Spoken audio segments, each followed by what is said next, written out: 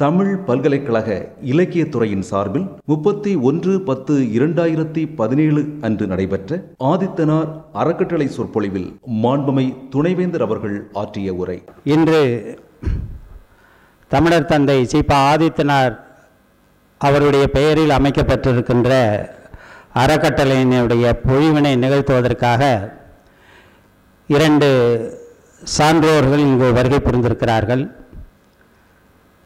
ஒருவர் தொலைக்காட்சி ஊடகத்தை பற்றி பேச இருக்கிறார்.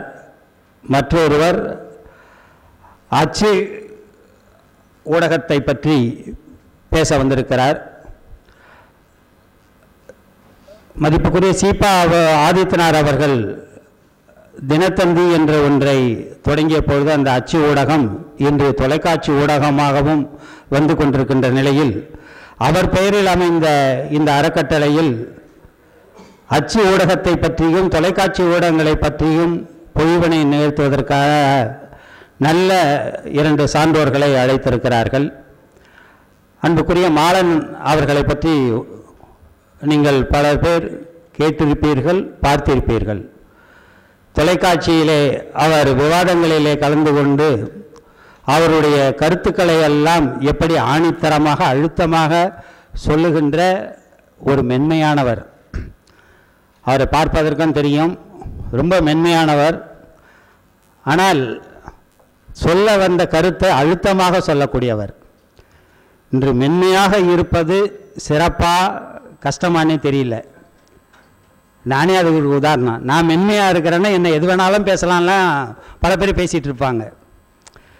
இவர் என்ன பண்ண போகிறாரு அதான் அந்த மென்மை அப்படிங்கிறது. ஆனால் மென்மையாக இருந்தும் தான் கொண்ட கருத்தை ஆணித்தரமாக அழுத்தமாக சொல்லக்கூடிய ஆற்றல் மிக்கவராக இவர் இருக்கிறார். ஒரு எழுத்தாளர் பல எழுத்தாளர்களை பார்க்கலாம். எழுத்தாளர் எழுதிட்டு இருப்பாங்க நல்லா.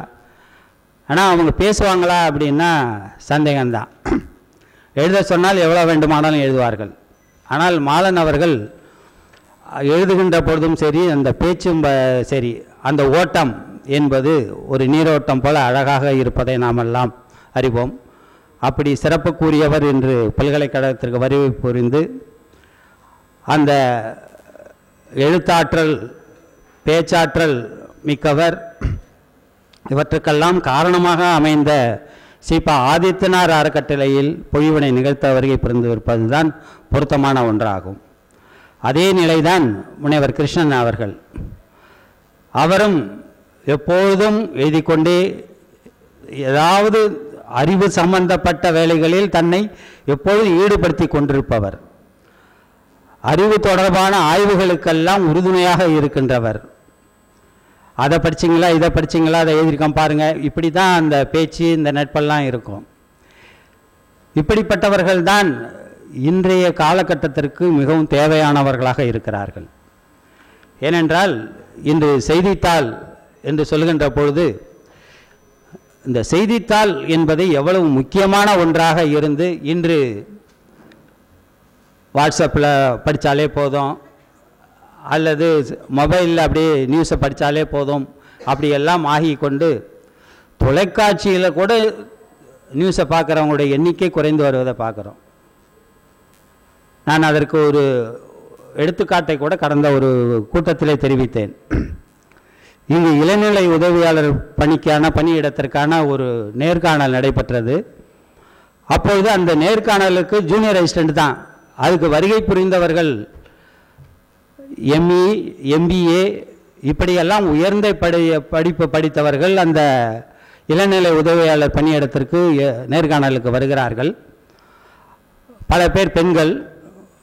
அந்த பெண்களிடம் ஒரே ஒரு கேள்வி தான் கேட்டோம். தற்போது நாட்டினுடைய பாதுகாப்புத்துறை அமைச்சர் யார்? ஒரு பதினஞ்சு பேர்கிட்ட கேட்டிருப்போம். ஒருத்தர் கூட சொல்லலை. திருச்சியிலேருந்து ஒரு பொண்ணு எம்பிஏ படிச்சிருக்கிறேன் சீதாலட்சுமின்னு ஒரு குறிப்பு கூட கொடுக்குறோம். அவங்க திருச்சி தாமா நீங்கள் படித்த கல்லூரியில் தான் படித்தாங்க அப்போ கூட தெரியல. இது வருத்தத்துக்குரிய ஒன்று. இதற்கு காரணம் என்னென்னா அவங்க செய்தித்தாளையே பார்க்கறதில்ல. எந்த செய்தித்தாளை பார்த்தாலும் முதல்ல பெண் இராணுவ அமைச்சர் முதல் முறையாக இந்திரா காந்திக்கு பிறகு இப்போது இருக்கிறார் முழு நேரம் அப்படின்னுங்கிறதும் படம் போட்டு பல பற்றி பல காலத்துக்கு செய்திகள் பெருசு பெருசாக வந்திருக்கு. செய்தித்தாளை பார்க்காமல் இருக்கிறது தான் இதெல்லாம். இப்போ இங்கே கூட இருக்கிறவர்கள் நாளைக்கு வந்து ஜென்ரல் நாலேஜு ஒரு இன்டர்வியூ போகும்போது சாதாரண இதே போல் கேள்வி கேட்கும்போது நீங்கள் தெரியலன்னா படித்த படிப்பு இருக்க மதிப்பில்லை என்று தான் அர்த்தம். அந்த அளவுக்கு செய்தித்தாளருடைய தேவை இன்று இருக்கிறது. இவர்கள் செய்தித்தாளை படித்திருந்தாலே தெரியும். நிர்மலா சீதாராமன் என்ற பெண் பாதுகாப்புத்துறை அமைச்சர்னு அப்போ தான் ஒரு பதினஞ்சு நாளைக்கு முன்னாடி தான் அவங்க பதவியேற்றிருக்கிறாங்க. ஆக அதை கூட படிக்காமல் இருக்கிறார்களே என்பது வருத்தத்துக்குரியது. இதையெல்லாம் தெரிந்துதானே என்னவோ அன்றைக்கே ஆயிரத்தி தொள்ளாயிரத்தி நாற்பத்தி ரெண்டுலெல்லாம் ஆதித்தனார் அவர்கள் படிப்பறிவு இல்லாத மக்களுக்கும் செய்திகளை தெரிந்து கொள்ள வேண்டும்.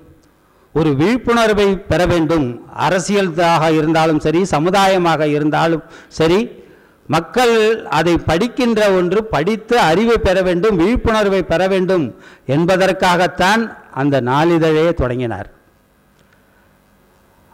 சீபா அவர்கள் சீபா ஆதித்தனார் அவர்கள் அந்த இதழை தொடங்குகின்ற பொழுது தமிழுக்காக அவர் பாரிஸ்டர்லாம் படித்து மிகப்பெரிய வழக்கறிஞராக பல ஆயிரக்கணக்கான ரூபாய்களை எல்லாம் மதிப்பூதியம் பெற்றவர் பெரிய செல்வந்தர். ஆனாலும் அதையெல்லாம் விடுத்து நான் பத்திரிகை நடத்தப் போகிறேன் என்று வந்தார் என்று சொன்னால் பொருள் ஈட்டுவதற்காக அல்ல. மக்கள் விழிப்புணர்வு உடையவர்களாக இருக்க வேண்டும் என்கின்ற ஒரே நோக்கத்திற்காகத்தான் அன்று அந்த பத்திரிகையை அவர் தொடங்கினார். அதில் நான் இரண்டு செய்திகளை சொல்ல வேண்டும். ஒன்று இது தமிழ் பல்கலைக்கழகம். இன்று நாம் தமிழ் தமிழ் என்று பேசிக்கொண்டிருப்பவர்களை எல்லாம் பார்க்கின்றோம். ஆனால் உண்மையான அந்த தமிழ் உணர்வு மிக்கவராக அவர் இருந்த காரணத்தினால் தான் தினத்தந்தியில் முதல்ல தமிழ் வெல் தமிழ் வெல்க என்கின்ற அந்த வார்த்தையை போட்டவர் அவர்தான். இந்த பத்திரிகையில் நம்ம இப்பெல்லாம் பார்க்குறோமா? அதே போல் ஆயிரத்தி தொள்ளாயிரத்தி நாற்பத்தி ரெண்டிலே மதுரையிலே இந்த தினத்தந்தி பத்திரிகையை தொடங்குகின்ற பொழுது ஒரு வாசகத்தை சொன்னார். உடல் மண்ணுக்கு உயிர் தமிழுக்கு என்று அந்த சொன்ன அந்த வாசகம். அவர் எப்படிப்பட்ட தமிழ் உணர்வு மிக்கவராக அவர் இருந்திருக்கிறார் என்று. அதேபோல் தமிழ் அதனால் அவர்கள் பேசுகின்ற அந்த தமிழ் அவர்கள் செய்தித்தாளை படித்து செய்திகளை அறிந்து கொள்ள வேண்டும் என்பதற்காக மிக எளிமையான முறையிலே செய்திகளை அவர் அளித்தார். அவர் அந்த வார்த்தைகளை எல்லாம் பதங்களை எல்லாம் அது தினத்தந்தி ஸ்டைல்னு அது ஒரு உருவாச்சு அந்த பேரே. அந்த தினத்தந்தியில் இருக்கிற அந்த வார்த்தையை வைத்துக்கொண்டே எப்படியெல்லாம் அவர் ஈர்த்திருக்கிறார் என்று. அப்போது கூட சொல்றாரு மதுரையிலே அவர்கள் தினத்தந்தி ப- பத்திரிகை நடத்தியவுடன் அந்த நடத்துவதற்காக காகித குழை அவரே தயாரித்து அவரே காய வைத்து எல்லா பணியும் செய்த பிறகு அது செய்தித்தாளாக வந்த பிறகு மார்க்கெட்டு பக்கம் சின்ன கடைகள்கிட்ட போய் நின்னவன்கிட்ட போய் நிற்கிறவர்களிடம் இந்த பேப்பரை படிச்சியா? இது உனக்கு புரியுதா? இந்த பத்திரிகை நல்ல செய்தியை தருதா? அவர் தான் பத்திரிகை ஆசிரியர் தான் சொல்லாமல் இப்படியெல்லாம் சாதாரண காய்கறி விற்பவர்கள் பழக்கோடைக்காரர்கள் டீ கடையில் இருக்கிறவர்கள் இவற்றையெல்லாம் போய் இந்த தினத்தந்தி பத்திரிகையை படிச்சியா அதில் என்ன செய்தி உனக்கு பிடிச்சிருக்கு? ஏதாவது புரியுதா? இப்படியெல்லாம் கேட்டு இப்போ அதெல்லாம் நினச்சி பார்க்க முடியுமா? நிமிஷத்தில் இன்றைக்கி ஒரு தொ- தொடங்குவாங்க. அதே விளம்பரம் அதை பார்த்துட்ருக்கணும் அவ்வளோதான் மக்களுக்கு பிடிக்குதா இல்லையாங்கிறதெல்லாம் இல்லை. நான் சொல்லுவதை நீங்கள் கேட்க வேண்டும்.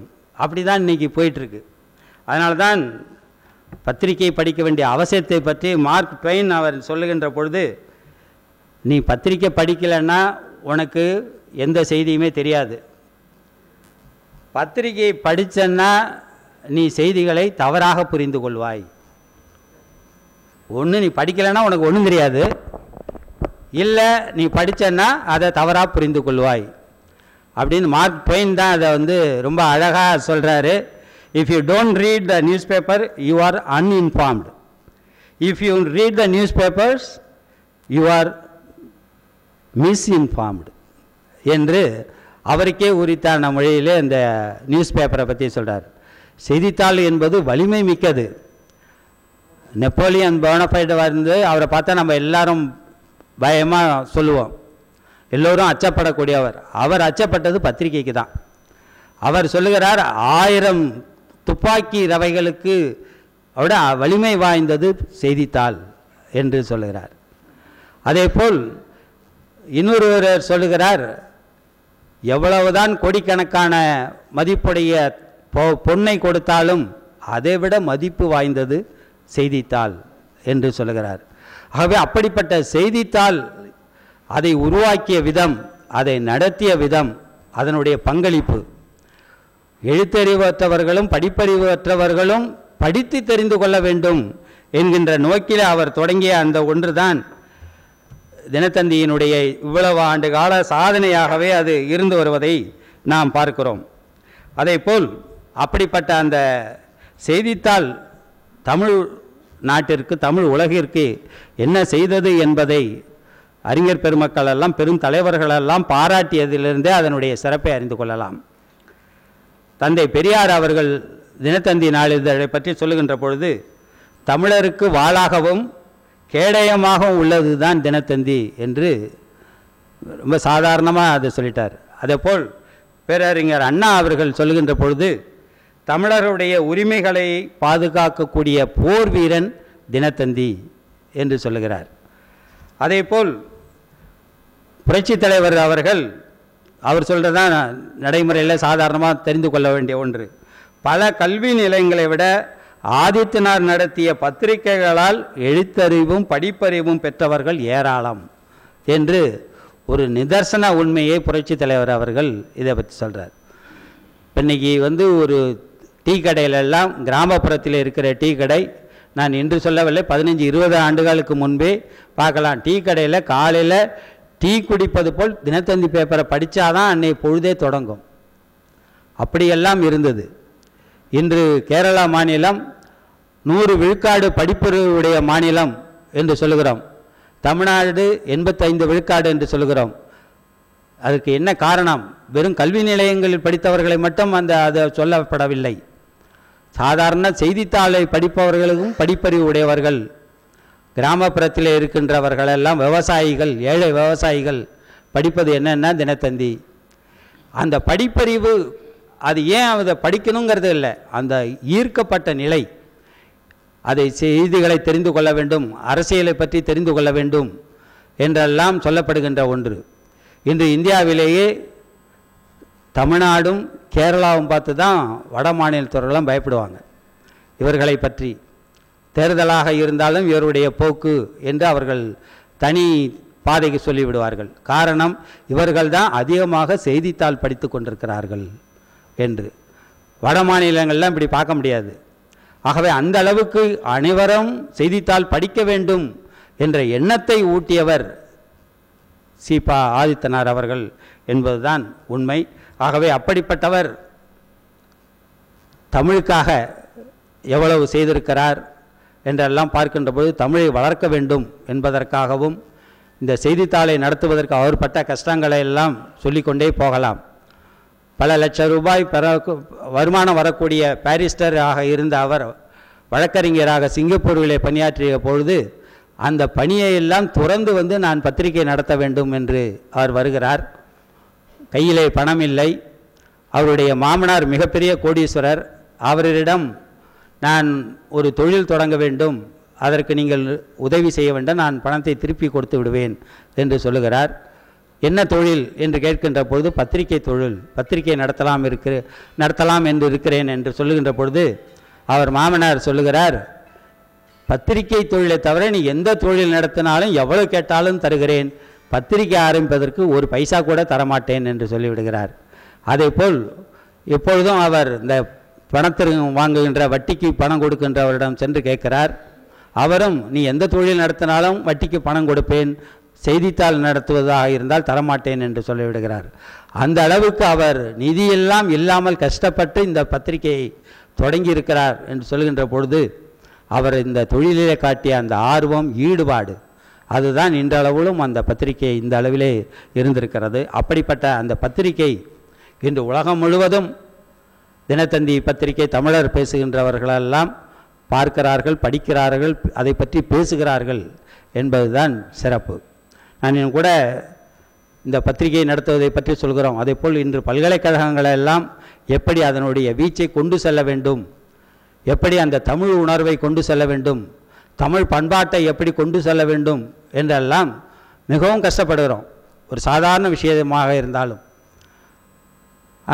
நாம் இப்பொழுது கூட தமிழ் பண்பாட்டை உலக நாடுகளிலே கொண்டு செல்கின்ற முயற்சியாக தமிழ் பண்பாட்டு மையம் என்ற ஒன்றை தொடங்கியிருப்பதை நீங்கள் எல்லாம் அறிவீர்கள். அந்த பண்பாட்டு மையத்தின் மூலமாக உலகத்திலே வாழ்கின்ற தமிழர்களுடைய குழந்தைகளுக்கு இளம் சிறார்களுக்கெல்லாம் நாட்டிய பயிற்சியும் இசைப்பயிற்சியும் அளித்து அவர்களுக்கு பல்கலைக்கழக சான்றிதழ் தருகின்ற ஒரு நல்ல நிலை இன்று உருவாகி இருக்கிறது. தமிழ்நாடு அரசினுடைய ஆதரவோடு அவர்கள் கடந்த நிதிநிலை அறிக்கையிலேயே புலம்பெயர்ந்த தமிழர்களுக்கு இசைப்பயிற்சி நாட்டிய பயிற்சி அளிப்பதற்காக ஒவ்வொரு ஆண்டும் இருபது லட்சம் ரூபாய் தமிழ் பல்கலைக்கழகத்திற்கு வழங்கப்படும் என்று அறிவித்த அறிவிப்பின் அடிப்படையிலே நாம் பண்பாட்டு மையத்தை தொடங்கி இருக்கின்றோம். அதன் வழியாக இன்று உலகத்திலே இருக்கின்ற தமிழர்கள் இருக்கின்ற பெரும்பாலான நாடுகள் ஜெர்மனியா Paris Switzerland Australia Canada Britain Malaysia Ilangai America ஆகிய நாடுகளிலே இருக்கின்ற தமிழர்களுடைய இளங்குழந்தைகளுக்கெல்லாம் இசைப்பயிற்சியும் நாட்டிய பயிற்சியும் அங்கு இருக்கிறவர்கள் கொடுப்பார்கள். இறுதியிலே பல்கலைக்கழகத்தின் சார்பாக இங்கு இருக்கின்ற பேராசிரியரோ பல்கலைக்கழகத்தின் சார்பாக ஒரு கலைஞரோ சென்று அவர்களுக்கு இறுதி கட்ட பயிற்சி அளித்து தேர்வையும் நடத்தி பல்கலைக்கழக சான்றிதழ் தருகின்ற ஒரு அருமையான திட்டம் நாம் தொடங்கி இருக்கின்றோம். எட்டு வயதிலிருந்து ஒரு குழந்தை நாட்டியம் பயின்றால் அதற்கு பல்கலைக்கழக சான்று. வேறு எங்கும் இல்லாத ஒரு நிலை. ஏனென்றால் இன்று பார்க்கின்றோம் இசைக்கும் நாட்டியத்திற்கும் அவர்கள் காட்டுகின்ற அந்த ஆர்வம். வெளிநாடுகளிலே அவர்கள் குழந்தை நாட்டியம் கற்றுக்கொள்ள வேண்டும் இசை கற்றுக்கொள்ள வேண்டும் தமிழ் இசை கற்றுக்கொள்ள வேண்டும் என்று ஆர்வப்படுகிறார்கள். பல ஆண்டுகள் அங்கு இருக்கின்ற நடனப் பள்ளியிலோ இசைப்பள்ளியிலோ படிக்கிறார்கள். ஆனால் அவர்களுக்கு ஒரு அங்கீகரிக்கப்பட்ட சான்றிதழ் இல்லை என்கின்ற நிலை. ஆகவே அப்படிப்பட்ட வெளிநாடுகளிலே வாழ் தமிழர்களுடைய வேண்டுகோளை ஏற்று நாம் இந்த திட்டத்தை அரசிடம் சொன்னபொழுது அவர்களும் ஏற்றுக்கொண்டு இந்த திட்டத்தை நமக்கு அனுமதி அளித்திருக்கிறார்கள். இந்த திட்டம் மையம் தொடங்கப்பட்டு விட்டது இன்னும் மூன்று மாதங்களில் தமிழ் பல்கலைக்கழகத்தில் நான் குறிப்பிட்ட இந்த நாடுகளைச் சேர்ந்த சுமார் பத்தாயிரம் மாணவர்கள் தமிழ் பல்கலைக்கழக மாணவர்களாக வர இருக்கிறார்கள். இன்னும் மூணே மாதம்தான். இப்போ யூகேயில் ரெண்டாயிரம் பேர் சேர இருக்கிறார்கள். ஜெர்மனி பாரிஸ் சுவிட்சர்லாந்திலிருந்து ரெண்டாயிரம் பேர் சேர இருக்கிறார்கள். அமெரிக்காவில் மட்டும் மூவாயிரம் மாணவர்கள் சேர இருக்கிறார்கள். மலேசியாவிலிருந்து ஆயிரம் இலங்கையிலிருந்து ஆயிரம். எப்படி பத்தாயிரம் பேர் குறைந்தபட்சம் இந்த மூன்று மாதங்களிலே சேர்க்கை பெற்று அடுத்த ஓராண்டுக்குள் அவர்கள் சான்றிதழ் பெறுகின்ற அந்த நிலை தொட ஏற்பட இருக்கிறது என்பதையும் மகிழ்ச்சியோடு தெரிவித்து கொண்டு இதற்காக இவ்வளவு நாம் சிரமப்படுகிறோம். ஆனால் இதையெல்லாம் எளிதாக்குவது இந்த தொலைக்காட்சியும் செய்தித்தாள்களும் தான். இவர்கள் செய்தித்தாளிலும் தொலைக்காட்சியிலும் போடுவதை வைத்துக்கொண்டு இந்த பண்பாட்டு மையம் தொடங்கப்பட்டு விட்டது என்று நாம் சொன்ன பிறகு பல வெளிநாடுகளிலிருந்து தொலைபேசி வழியாக அழைத்து இதை பற்றி கேட்டு தெரிந்து கொண்டார்கள். நாங்களும் இதில் தங்களை இணைத்துக் கொள்கிறோம் என்றார்கள். இதுதான் தொலைக்காட்சி செய்தித்தாளுக்குள்ள வலிமை. மிக எளிதாக எல்லா நாடுகளுக்கும் இந்த திட்டத்தை பற்றி சென்றடைந்திருக்கிறது என்று சொன்னால் செய்தித்தாள்களும் ஊடகமும் தான் அதற்கு நமது ஊடக நண்பர்கள் மிகவும் உதவி இருக்கிறார்கள். தமிழ் பல்கலைக்கழகத்தை பற்றி இன்று தமிழ்நாடு முழுவதும் கேட்கிறார்கள். அதற்கு ஒரே காரணம் இவர்கள்தான் செய்தித்தாள் தான் செய்திகளை தருவது மட்டுமல்லாமல் ஒரு நிறுவனத்தினுடைய வளர்ச்சிக்கும் அவர்கள் அடிப்படையாக இருக்கிறார்கள். இதையெல்லாம் அறிந்துதான் தமிழர் தந்தை அவர்கள் ஒரு பத்திரிகையை இவ்வளவு சிரமப்பட்டு நடத்தி தமிழ் வளர வேண்டும் தமிழ் உணர்வு வளர வேண்டும் என்று கருதி செய்தித்தாளோடு தமிழ் உணர்வையும் கலந்து தந்தவர்.